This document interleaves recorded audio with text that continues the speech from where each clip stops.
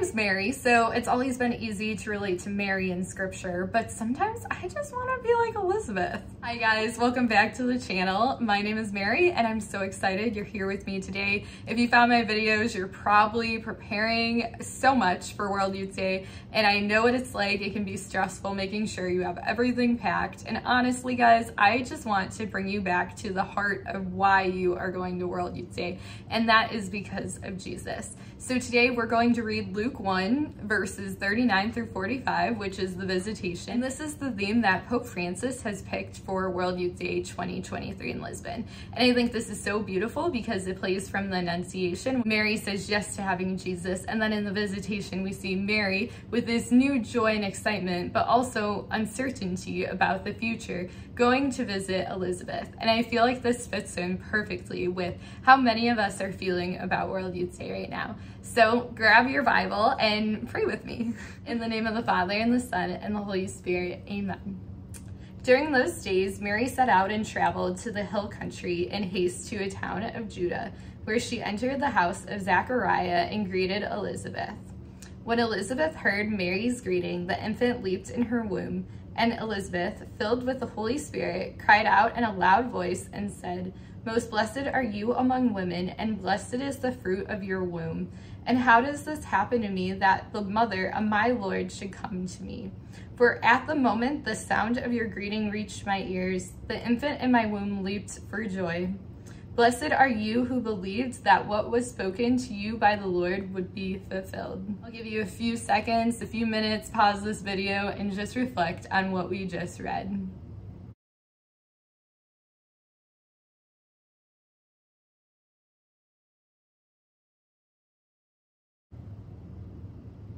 I hope your prayer time was very nice. A few things that stuck out to me as we were praying was just the fact that Mary traveled. And I know that if you are going to World Youth Day you are traveling in some capacity to get there.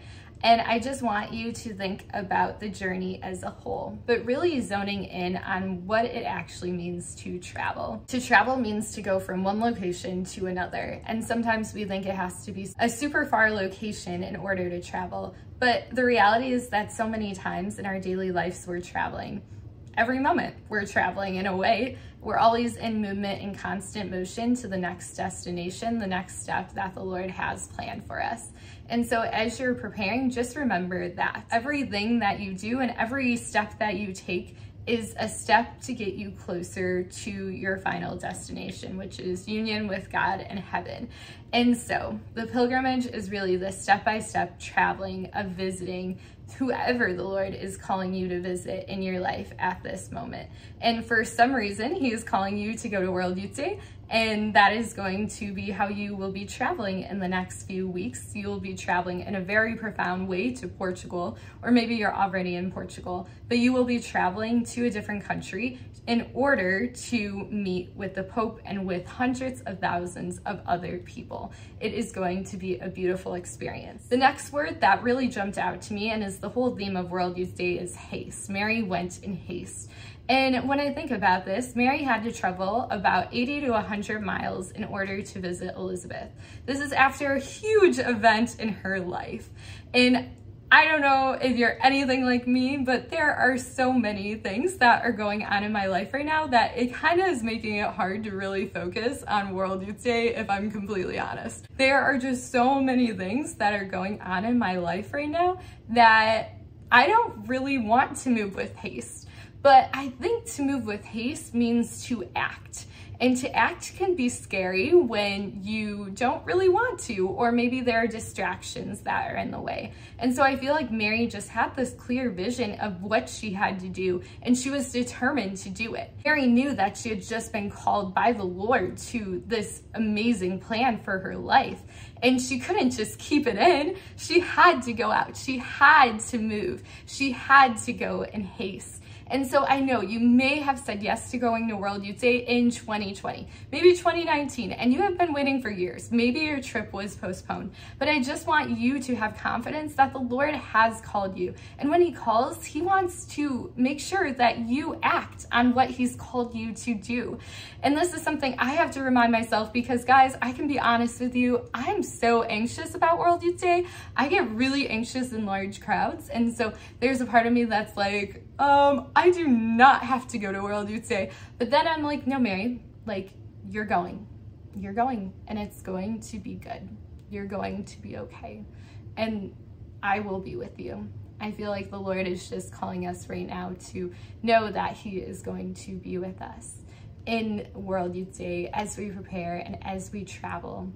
He is going to be with us and he's going to make the haste lessen.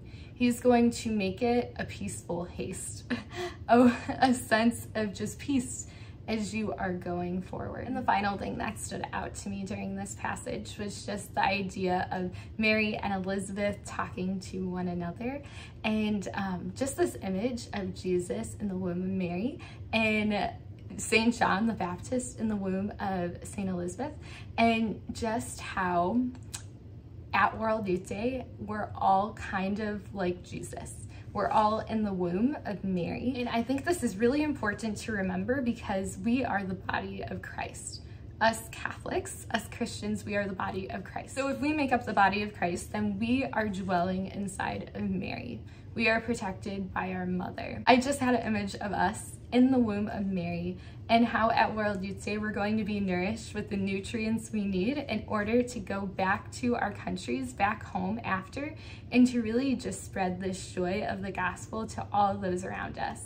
We're going to be renewed in that missionary spirit of being sons and daughters of the Father in order to renew our homes, to renew our families, to renew our college campuses, and to really just bring hope to the world around us.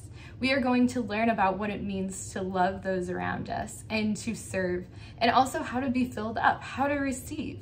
And so, I am so excited to just be formed in the womb of Mary during this event and to know that whether you're Mary or Elizabeth or John the Baptist or Jesus, that the Lord has a plan for you during this World Youth Day. And so I pray that any anxieties, any fears, or any worries that you have going into this week may just be set at the foot of the cross and that our Lord Jesus Christ might shadow you and radiate his love through you and in you through the most holy Eucharist to just set your hearts on fire. And so I just want to pray Hail Mary and ask for our Blessed Mother's intercession.